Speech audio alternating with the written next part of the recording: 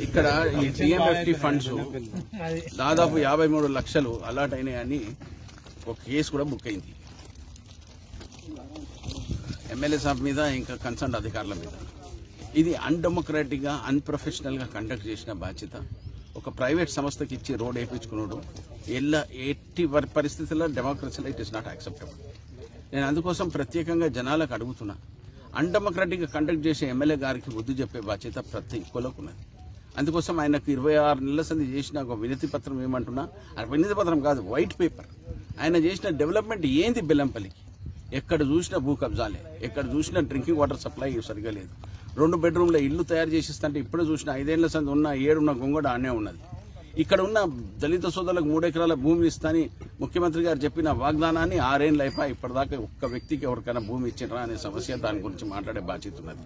ఇదంతా ప్రజలందరూ అడిగే బాధ్యత.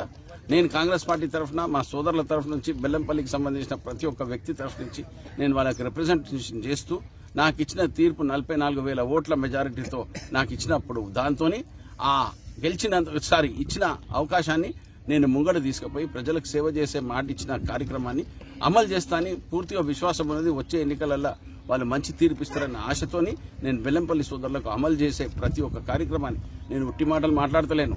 నేను ఇరవై ఆరు నెలలైంది ఉట్టికి ఎందుకు చూసుకోలేదు ఈ కోవిడ్ వచ్చినందుకు రాలేకపోయినా నేను చెన్నూరులో చేసిన ఐదేళ్ళ పని గురించి నేను ఇప్పటిదాకా చెప్పుకోలే.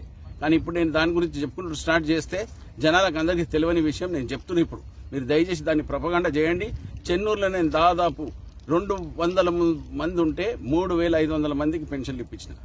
నాలుగు వందల బోర్లు ఇప్పించిన ఒక one thirty two KVA substation ఇచ్చిన. రైల్వే మన రైతు సోదరులకు ఏడు వందల కోట్ల రూపాయలు రుణమాఫీ చేయించిన గొల్లవాగు ముత్తడవాగు ప్రాజెక్టు ఎనిమిది వందల కోట్లతో దాన్ని అమలు చేయించిన జైపూర్ పవర్ ప్లాంట్ ఇవాళ టీఆర్ఎస్ ప్రభుత్వం బతికేదే జైపూర్ పవర్ ప్లాంట్ మీద. అది ఇప్పించిన ఘనత నాది మా నాయనది తీసుకున్న ప్రతి ఒక్క కార్యక్రమాన్ని అప్పుడున్న ప్రైమ్ మినిస్టర్ మన్మోహన్ సింగ్ గారితో మాట్లాడి పన్నెండు వేల కోట్లతో ఇప్పించిన ఘనత ఆ పవర్ ప్రాజెక్ట్ది మా కుటుంబానికి మా కుటుంబం తరఫు నుంచి తీసుకున్న ఈ ఈ ఉన్న శపథాన్ని మేము అక్కడ పవర్ ప్రాజెక్ట్ పెట్టి ఇవ్వాలి మొత్తం తెలంగాణలో పవర్ వస్తుంది. ఇంత సేవ చేసిన మా ఉన్న కుటుంబము మేము బెల్లంపల్లిలో కూడా అభివృద్ధి చేసే కార్యక్రమం కిందనే వచ్చినాము. ఈ మెడికల్ కాలేజ్ సమస్య కూడా పార్లమెంట్లో మాట్లాడుతున్నాము.